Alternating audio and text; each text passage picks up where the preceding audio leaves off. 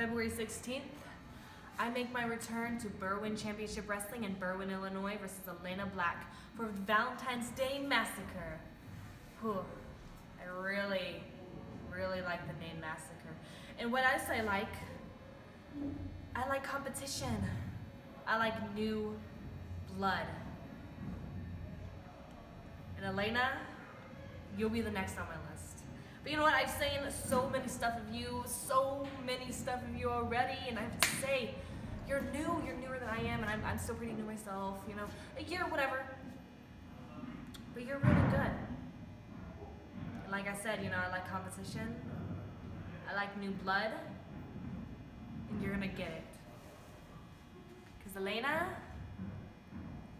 get ready to be welcomed to your cruel reality.